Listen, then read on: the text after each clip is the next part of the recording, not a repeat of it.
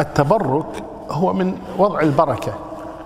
والله تبارك وتعالى هو الذي يبارك الأشياء سبحانه وتعالى. الله هو الذي يبارك هو الذي يجعل البركة في الأشياء فهي هبة من الله تبارك يجعلها في الشيء جل وعلا.